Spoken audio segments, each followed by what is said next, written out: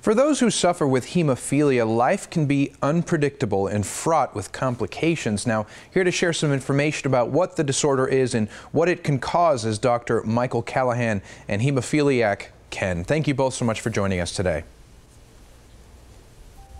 Thank you. Thanks for having us.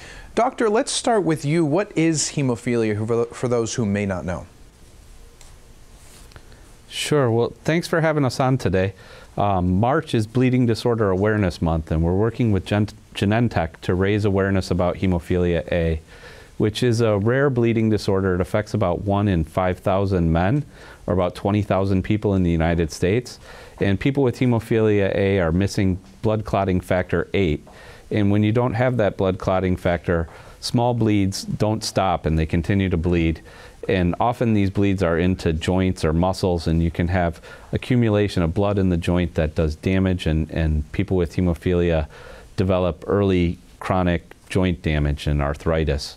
And the treatment is usually to replace the missing blood clotting factor. So if you're missing coagulation factor 8, we can infuse factor 8 IV three or four times a week to prevent bleeding, or when people are having a bleed, we can infuse them. Unfortunately, about a third of people with hemophilia A um, see factor VIII as a foreign product and their body makes an immune response and then that factor VIII doesn't work anymore. So when they have a bleed it becomes very hard to treat and people with inhibitor antibodies um, have chronic joint damage and, and even life-threatening bleeds that can be very difficult to treat. Well, Ken, you are one of the people affected by this. What, how has it changed your life? How has it affected your quality of life? Well, I don't know that it's changed my life because it's the only thing I know. Uh, it's made me who I am. Um, so being born with it and being diagnosed at age two and then diagnosed with an inhibitor, um, you know, it, it, it has made every decision in my life. Uh, anything you do, you have to think of your the hemophilia and how it uh, can affect what you do day to day. Right. And so, what do you hope that people listening, people watching, uh, you know, who may not know much about this or may have a family member who's affected by it, what do you hope that they learn from your experience?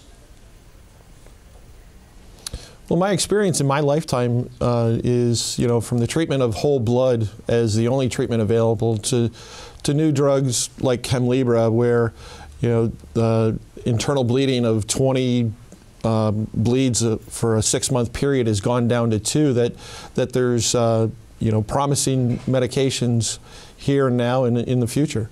Got it. And doctor, back to you. Uh, what do you want people to know as far as resources? If they want to learn more, become educated, where can they go?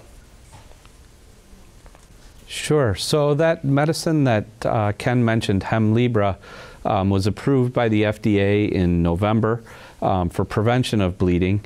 And if people want more information about that, they could go to hemlibra.com, which is H E M L I B R A.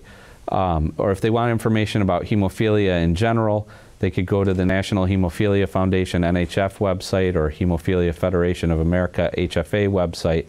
Um, as, as, with any drug, Hemlibra can have side effects, including blood clots and, and TMA. So if you're considering the drug, you should definitely seek more information and talk to your doctor. Very good. Dr. Michael Callaghan, thank you so much for the information. And Ken, of course, thanks for opening up and sharing your very important story.